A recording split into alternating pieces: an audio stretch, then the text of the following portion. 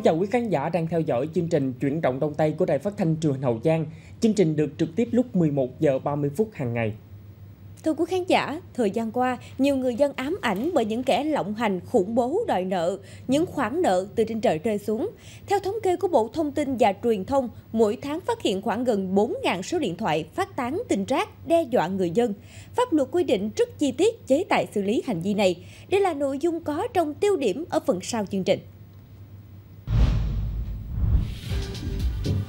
Nhiều tỉnh thành trong cả nước liên tiếp xảy ra các vụ cháy nhà xưởng, chợ và rạp chiếu phim trong mùa nắng nóng.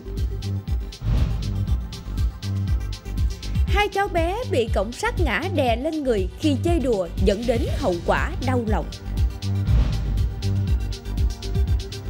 Khởi tố nam thanh niên về hành vi giết người khi cố tình thông chốt, đâm trọng thương cảnh sát giao thông Hiệu quả từ việc mạnh tay xử lý vi phạm nồng độ cồn góp phần giảm thiểu những tai nạn thương tâm, định hình một nét đẹp văn hóa giao thông.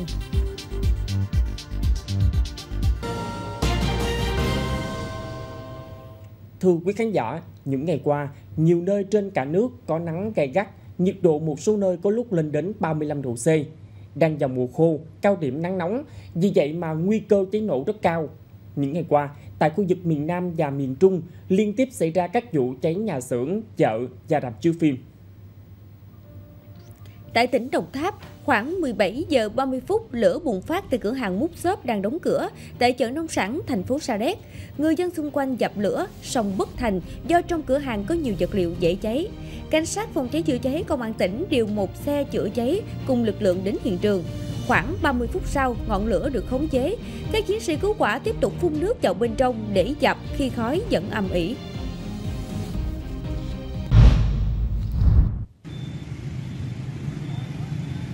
lăm giờ 40 phút chiều qua, khói lửa phát ra từ khu chiếu phim của nhà sách Bạch Đằng tại giao lộ đường 30 tháng 4 và Bình Giả. Do trong rạp có nhiều vật liệu dễ cháy nên lửa lan nhanh, khói đen bao phủ cả vùng, lực lượng chữa cháy phải phá lớp kính cường lực phía trước để thông khói và phân bổ lực lượng tiếp cận dập lửa. Đến 19 giờ tối qua, cảnh sát chữa cháy vẫn tiếp tục phun nước để dập tắt hoàn toàn đám cháy.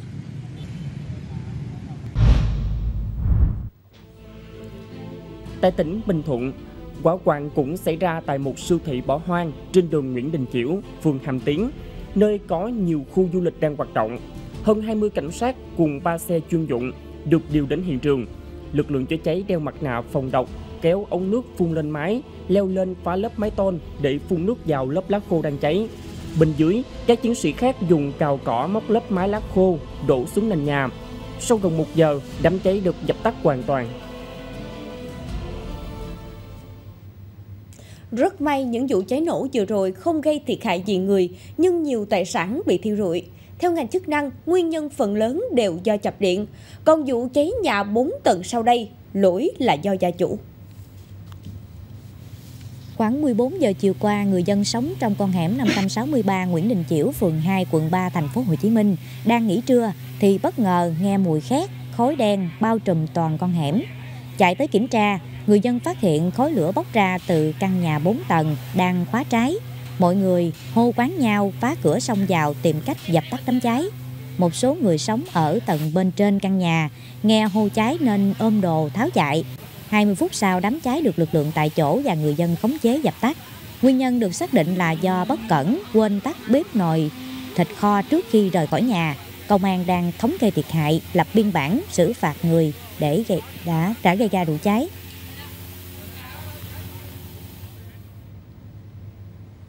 Chỉ vì quên tắt nồi thịt kho trước khi rời khỏi nhà, sơ ý nhỏ của gia chủ nhưng có thể dẫn đến hậu quả lớn do cháy nổ.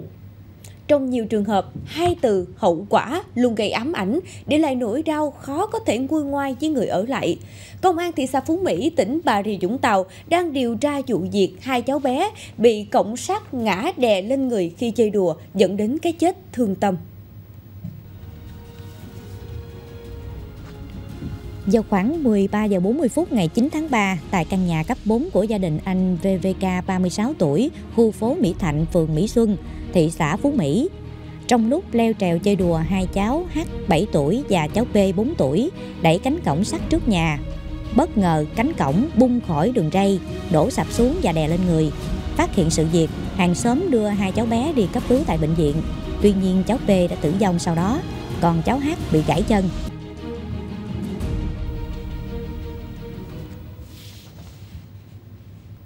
Thưa quý vị, Công an thành phố Cần Thơ cho biết, trong tuần đầu của tháng 3, Phòng Cảnh sát Giao thông Đường bộ, Đường sắt xử phạt hơn 230 trường hợp vi phạm nồng độ cồn với số tiền hơn 1 tỷ đồng. Quá trình thực hiện tuần tra khép kín trên địa bàn, lực lượng công an thực hiện kiểm soát 1.500 phương tiện để kiểm tra vi phạm nồng độ cồn, trong đó có gần 100 trường hợp vượt quá 0,4 1mg trên 1 lít khí thở.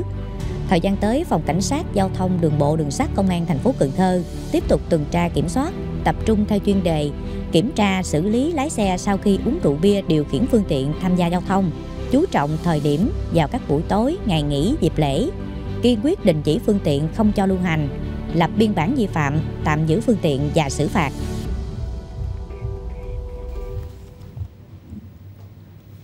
Các chiến sĩ cảnh sát giao thông túc trực ngày đêm trên các cung đường, cốt lõi không phải để xử phạt phương tiện vi phạm mà sâu xa hơn là tuyên truyền nhắc nhở nhân dân đảm bảo các điều kiện an toàn khi tham gia giao thông để hạn chế xảy ra tai nạn. Thế nhưng lại có nhiều trường hợp chống đối lực lượng chức năng, có người tông thẳng vào cán bộ chiến sĩ khi yêu cầu dừng phương tiện.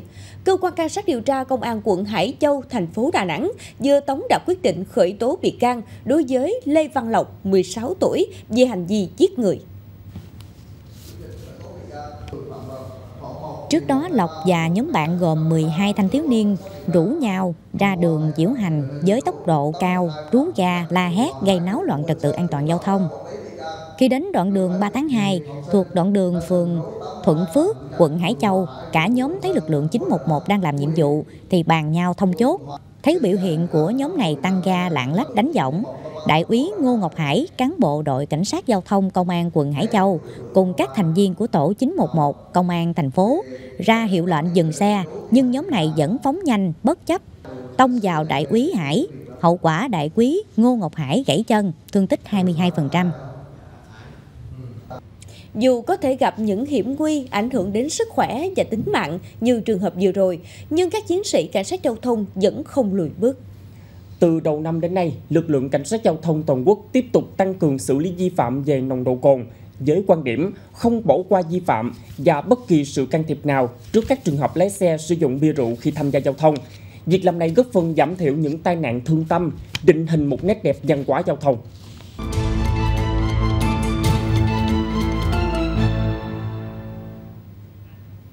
Như chúng tôi liên tục thông tin trong các bản tin của đài, thời gian gần đây, tình trạng lừa đảo qua điện thoại, đòi nợ theo kiểu khủng bố đang diễn biến phức tạp, tràn lan trong khoảng thời gian dài, khiến người dân bất an, lo lắng. Tuy nhiên, cây kim trong bọc cũng có ngày lòi ra. Hàng loạt chiêu lừa của những công ty tài chính cho dây núp bóng tín dụng đen bị ngành chức năng các tỉnh liên tục triệt phá. Những kẻ khủng bố đòi nợ sẽ phải trả giá theo quy định của pháp luật. Nội dung có trong tiêu điểm trừ này.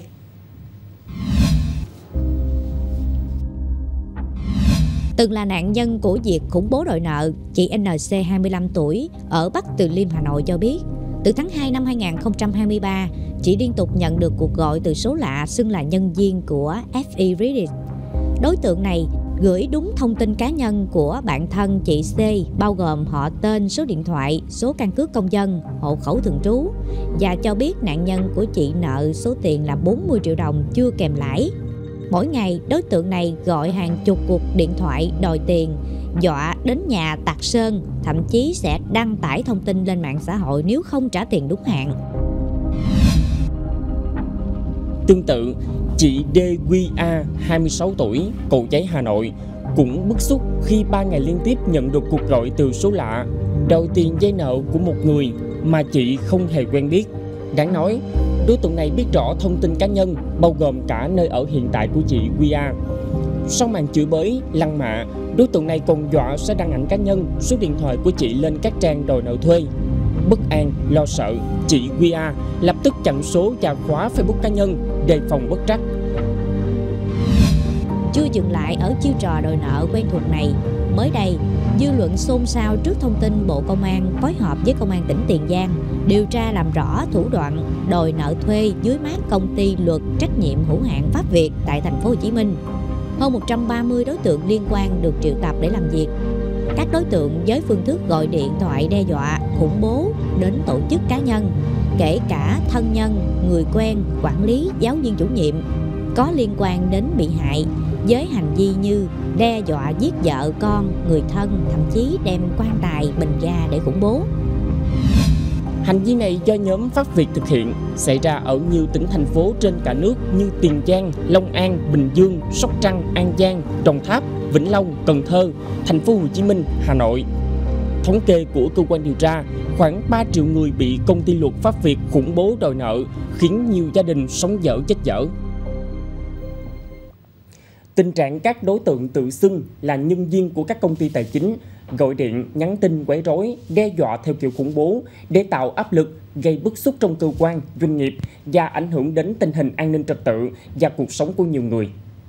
Theo thống kê của Bộ Thông tin và Truyền thông, mỗi tháng phát hiện khoảng gần 4.000 số điện thoại phát tán tin rác và đe dọa khủng bố người dân. Pháp luật quy định rất chi tiết chế tài xử lý hành vi này. Dưới góc độ pháp lý, các đối tượng khủng bố người dân qua điện thoại có dấu hiệu của hành vi lợi dụng mạng máy tính, mạng viễn thông để cung cấp chia sẻ thông tin giả mạo, thông tin sai sự thật, xuyên tạc, du khống, xúc phạm uy tín của cơ quan, tổ chức, danh dự nhân phẩm của cá nhân. Theo điểm g khoảng 3, Điều 102, Nghị định 15 năm 2020 của Chính phủ quy định xử phạt vi phạm hành chính trong lĩnh vực bưu chính viễn thông, tần số vô tuyến điện, công nghệ thông tin và giao dịch điện tử.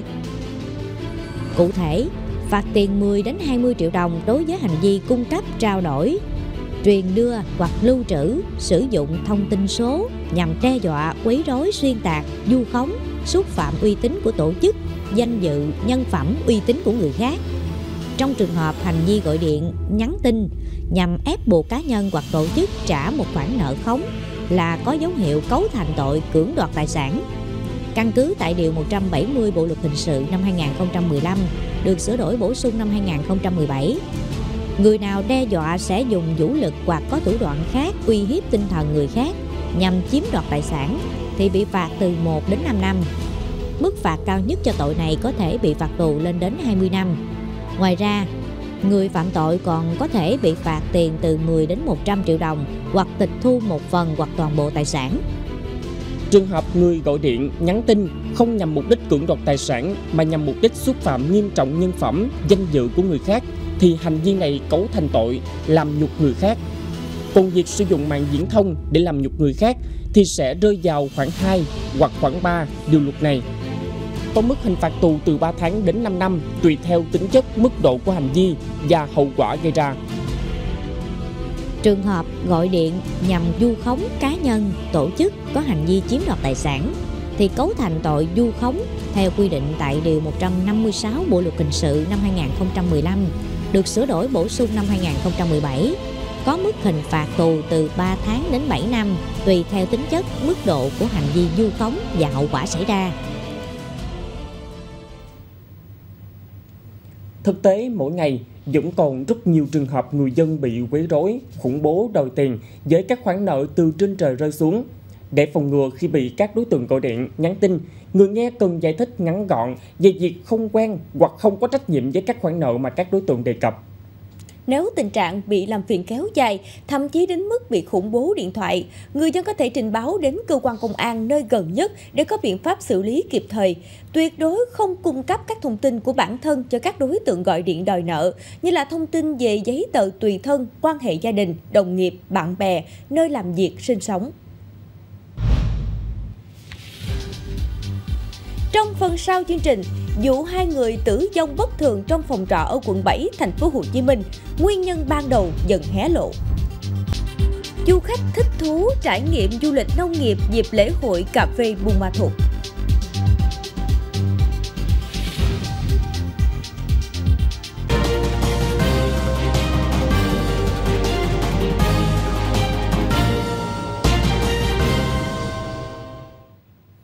Liên quan vụ hai người tử vong bất thường trong phòng trọ ở quận 7 thành phố Hồ Chí Minh, chúng tôi có đề cập trong các bản tin trước. Qua khám nghiệm, công an thành phố có kết luận ban đầu. Công an xác định hai nạn nhân là ông NVM sinh năm 1976 ngụ thành phố Cần Thơ và NTTL sinh năm 2006 ngụ quận 7. Ông M có tình cảm sống chung với mẹ của N trong căn nhà trọ tại phường Tân Thuận Đông quận 7. Quá trình chung sống, ông M và mẹ của L hay mâu thuẫn do ông này thường xuyên ăn nhậu. Một tuần trước, mẹ của L về quê làm giấy tờ và phòng trọ chỉ có hai người. Qua khám nghiệm, công an ghi nhận thi thể hai người có vết thương nghi bị đâm. Cạnh hai thi thể có một cây kéo dính máu, vết máu dính trên tường. Công an nghi ông M sát hại L rồi dùng kéo tự sát. Thời điểm này, lễ hội cà phê Buôn Ma Thuột lần thứ 8 năm 2023 đang diễn ra ở tỉnh Đắk Lắk. Cùng với tham gia các hoạt động chính của lễ hội, du khách có thể tham gia các tour du lịch nông nghiệp ở các vùng cà phê trọng điểm của tỉnh. Yêu thích cà phê ban mê, chị Hà cùng những người bạn từ Bắc Giang đến Đắk Lắk tham gia tour trải nghiệm. Ngoài thưởng thức cà phê, chị Hà được tìm hiểu sâu hơn về quy trình sản xuất và những câu chuyện văn hóa gắn liền với cà phê. Biết được là những cái quy trình sản xuất ờ, nó như thế. Thì mình rất là yên tâm. Mình rất là cảm thấy là yên tâm khi mà mỗi khi mình mình mình sử dụng cà phê mà mình thưởng thức cà phê. Bởi vì là ờ, ở đây họ làm như thế thì sẽ rất là an toàn cho sức khỏe. Và chắc có lẽ mọi người ở đây là đang hướng tới là một cái vùng nguyên liệu sạch an toàn để hướng tới cái sức khỏe cho người tiêu dùng. Mình làm à, cà phê chất lượng cao á, thì à, được các à, đơn vị, các Ờ, khu họ chế biến, đặc biệt là liên kết với công ty ờ, thì họ cũng đã bao tiêu sản phẩm cho mình.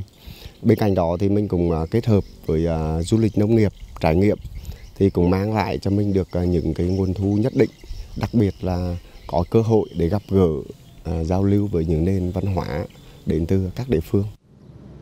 Thông qua liên kết với các công ty du lịch, ông Đồng cũng có cơ hội chia sẻ kinh nghiệm trồng, chăm sóc, thu hoạch cà phê. Từ đây giới thiệu quảng bá nông sản Đắk Lắk đến với du khách. Ở Sài Gòn thì em hay uống cà phê Nhưng mà thật sự là uống cà phê ở Đắk Lắk á Thì ờ, nó có một cái cảm giác khác hẳn Đặc biệt là được tham quan cái mô hình mà trồng cà phê hữu cơ ở đây nữa Thì em cảm thấy rất là ấn tượng với lại cái ờ, cách mà anh giải thích về cách chế biến một cái loại cà phê thuần hữu cơ luôn Rất là tốt cho sức khỏe luôn với 210.000 hecta cà phê, tỉnh Đắk Lắk là nơi có diện tích trồng lớn nhất cả nước. Lễ hội cà phê Buôn Ma Thuột chính là cơ hội để người dân doanh nghiệp chia sẻ câu chuyện sản xuất của mình, mang lại cho ngành hàng cà phê những giá trị thiết thực. Qua đây giúp du khách hiểu hơn về những sản phẩm được làm nên từ đất và người nơi đây.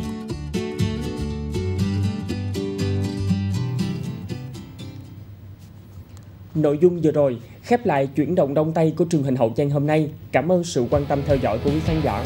Mến chào tạm biệt và hẹn gặp lại.